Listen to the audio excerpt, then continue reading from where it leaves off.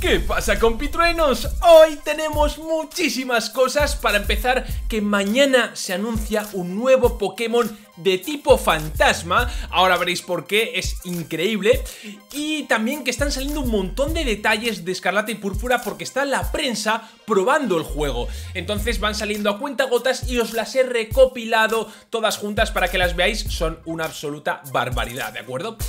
Eh, también quería deciros que el horario del Tetraloque ha cambiado esta semana, ¿vale? Los episodios os dejaré por aquí el horario para que lo veáis, pero vamos, que van a ser martes, o no, miércoles, jueves, sábado y domingo, ¿de acuerdo? En vez del típico horario mm, que hemos seguido hasta ahora, ¿vale? Y nada más, vamos a esas novedades y a ese nuevo Pokémon. ¡Let's Go. Aquí tenéis el vídeo de la página oficial de Pokémon, es un short, hermanos, que dice Pokémon de tipo fantasma en Paldea y pone hashtag escarlata y púrpura, hashtag shorts. Hermanos, vamos a reaccionar, no lo he visto. Voy a poner los cascos, que soy un poco lamentable, no lo he preparado. Ahí está. Y let's go, a ver qué nos cuentan. Está grabando. ¡Ojo, está doblado! Ok, un bicho, ¿no? No, no es nada, no es nada. Vale, se raya. Pokémon de tipo fantasma? ¡Ojo, Vengar! ¿Y ya? Está grabando. Vale, vale, corto, muy, obviamente, corto, tendría que ser corto. Eh, hermanos, ¿qué Pokémon es? Vamos a averiguarlo. Aquí tenéis los posibles Pokémon de tipo fantasma para este tráiler. Son los que se han ido filtrando, ¿de acuerdo? A lo mejor hay más, no lo sabemos. Pero a priori son solamente estos. La evolución de Fuecoco obviamente no es. El Pokémon perro, cuidado que aquí hay tres perros en esta región, ya lo sabéis. Fantasma, Hada y siniestro, si no recuerdo mal, pues el fantasma podría ser perfectamente. El Pokémon moneda, eh, no lo creo, sinceramente. Estos ya están, obviamente no. El Pokémon escarabajo extraño, este ojito, porque pega bastante en el ambiente en el que está y podría ser también. La evolución de Primip lo descarto por completo. Y el Misdribus Paradox no me pegaría nada que lo presentaran así. Seguramente sea un Pokémon completamente nuevo. ¿Cuál creéis vosotros que es? Dejádmelo en los comentarios, yo diría que va a ser o el escarabajo o el Pokémon perro. Esa es mi apuesta, el Pokémon moneda este ya se medio filtró, yo me quedo con esto, sinceramente. Decídmelo vosotros en los comentarios. Vamos ahora con los detallitos de la prensa, que son bastantes, no sé lo que voy a tardar, pero espero que no mucho. Y de fondo os voy a ir dejando eh, gameplay, ¿vale? Ya sea de lo que estoy contando o simplemente pues gameplay nuevo que no hayáis visto, ¿vale? Lo primero, los entrenadores no inician batallas, tienes que ir tú a hablar con ellos, así que desaparece por completo la típica exclamación, el que te pillen por sorpresa, se acabó compañeros, tienes que ir tú a hablar. Hay gente que esto le da bastante pena porque es muy icónico de la saga, hay gente que le parece súper bien que desaparezca. Veremos a ver qué tal se siente cuando lo probemos, hermanos. No, no sabemos si está bien, si está mal, ya veremos. Número 2. Vuelve el golpe sorpresa por detrás, el que ocurrió en Leyendas Arceus, cuando tú lanzas un Pokémon a otro salvaje que se queda así un poco como aturdido. Pues eso vuelve y en este caso, como es por turnos, el primer turno el Pokémon rival va a flinchear, ¿de acuerdo? Interesante, eh, veremos cómo se da, pero vamos, es para capturar vendrá de locos.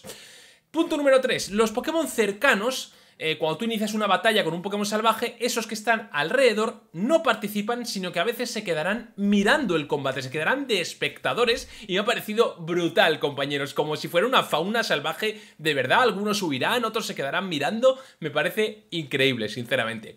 Punto número 4. Los Pokémon reaccionan al entorno. Si cambia el clima, los Pokémon reaccionan. Por ejemplo, si se pone a llover, en la prensa que ha dicho esto, dice que su Farigiraf empezó a correr con entusiasmo eh, alrededor, como si, bueno, pues la lluvia le encantara, ¿no? Esto es brutal, compañeros. La IA de los Pokémon parece estar hecha mucho más elaborada, mucho más inteligente, y eso mola mucho, sinceramente. Punto número 5. Hay diferentes uniformes para cada estación, compañeros. Va a haber como cuatro modelos, entiendo, invierno, verano, otoño, primavera, y uno más abrigadito, otro más no sé qué. Eh, interesante, me mola. Ya los veremos, no me he parado a mirar imágenes, pero ya los veremos. Punto número 6. Solo hay una única zona de carga, compañeros. Esto quiere decir que va a estar siempre el mapa cargado, excepto cuando llegas a la ciudad principal que se llama Mesagoza. Cuando llegas allí, parece ser que eso sí que se carga aparte, pero el mundo abierto es uno solo, es decir, es sin zonas de carga. Eso es brutal, me parece una mejora increíble, por supuesto.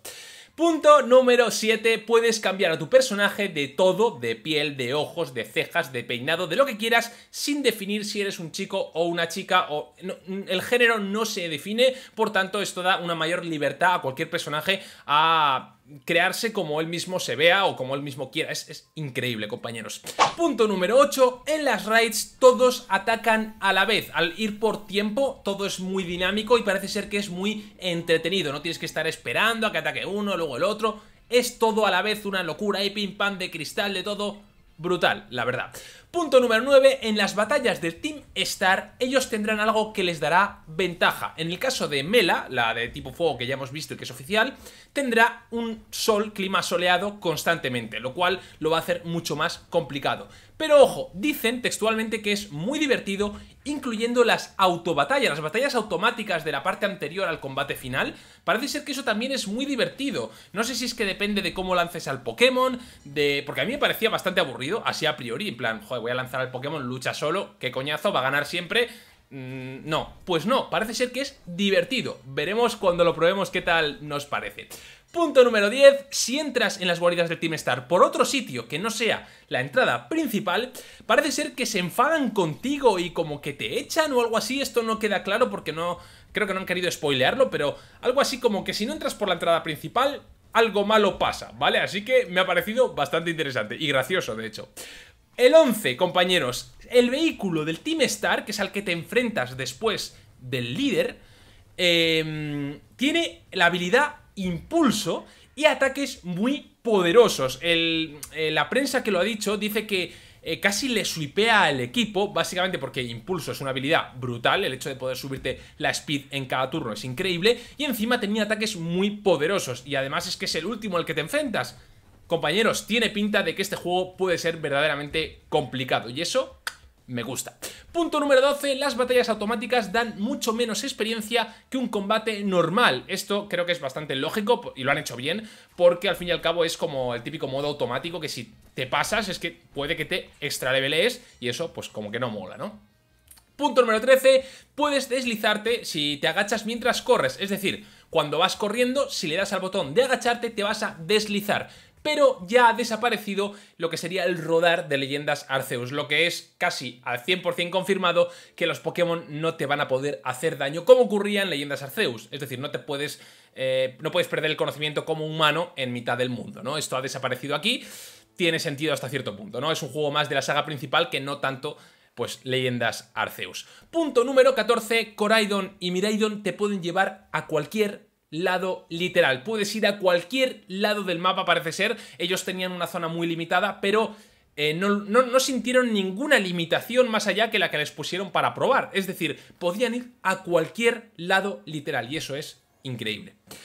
Punto número 15 y ojito a esto porque es importante, podemos acceder al PC en cualquier momento, no hace falta que estemos en un centro Pokémon. Y esto es increíble siendo un mundo abierto que además parece ser súper grande, porque obviamente no tienes por qué tener un centro Pokémon cerca, pero puedes cambiar tus Pokémon y tener incluso un equipo de más de 6, porque al fin y al cabo es como si estuvieran en tu equipo, accedes, pum, pam, cambias y sigues usando Pokémon y continuando tu aventura. A mí esto me parece espectacular y necesario para este juego, así que mis dieces. Además, puedes recordar movimientos en cualquier momento y cambiar el mote de tus Pokémon. Bien, me gusta, me sirve. Punto número 16, el minijuego de los sándwiches, eh, que ya hemos visto en los trailers, tiene mejoras con los Pokémon salvajes y una de ellas Ojo a esto, hermanos, aumentar el ratio de shinies. Esto va a ser clave para hacer shiny hunting. Es increíble no me lo esperaba para nada. Y parece ser que sí, que para esto vamos a estar haciendo ahí sándwiches. Me descojono, sinceramente. Punto número 17. Hay eh, NPCs que te ponen minijuegos como capturar varios Pokémon en un tiempo determinado y esos NPCs suelen estar cerca de los centros Pokémon. Bueno, me gusta que haya mini retos por ahí, por la región, que seguramente sean un poco aleatorios. Me gusta bastante, sinceramente. Y por último, en el punto 18, tenemos que, ojito a esto, este juego tiene 18 medallas. Obviamente no son todas de gimnasios, de gimnasios solamente hay 8, como siempre. Y luego hay 5 de la vía eh, Stardust, es decir, del Team Star, y otras 5 de la senda legendaria, es decir, de los dominantes. Cada uno de ellos va soltando también una medalla. así que se convierte en el juego con más medallas hasta la fecha. No son de gimnasio, pero son 18 medallas, y es lo que hay. Y nada más compañeros, hasta aquí el vídeo Espero que no haya quedado muy largo, creo que sí, que ha sido largo Pero bueno, he hecho lo que he podido y que os haya gustado Así que reventad el botón de like, apretad ese botón como si no hubiera un mañana Y nos vemos en el próximo vídeo Chao, chao